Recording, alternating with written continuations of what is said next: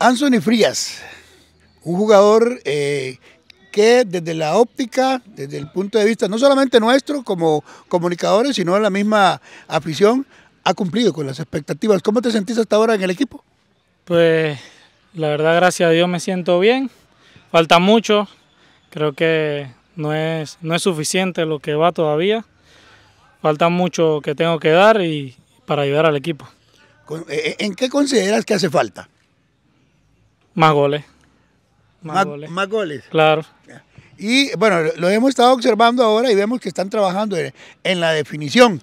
¿Cómo sentís ese trabajo? Porque en algunos casos, voy a, voy a ser crítico, lo que estaba observando de este lado, los de aquel lado no los pude observar bien, eh, eh, uno siente que hay carencia.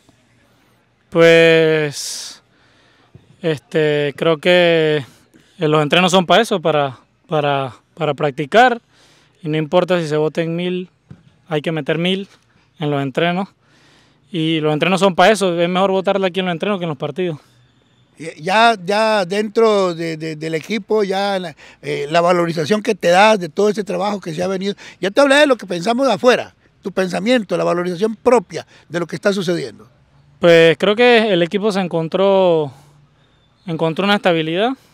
La verdad creo que encontró una estabilidad y se ha visto en los últimos partidos, aunque en los primeros partidos no se vio el resultado, pero los últimos compromisos, el último compromiso en Guanacaste se vio el trabajo del profe y el trabajo de cada uno, que, que actitud hay, trabajo hay y de eso se vive. No podemos negar que el, el equipo partido a partido ha venido eh, creciendo bastante eh, eh, en todos los aspectos, ¿verdad? Y en el que falta es el que, por ejemplo, hoy vimos que están trabajando más, la definición. Sí, sí, creo que en los partidos, por, lo menos los últimos partidos, la que han habido, la que han, las opciones que han habido en el partido se han, metido, ¿no? Pues por lo menos con Guanacaste hubieron tres, se metieron tres, que fueron opciones claras, ¿me entiendes? Entonces, hay que trabajar para eso.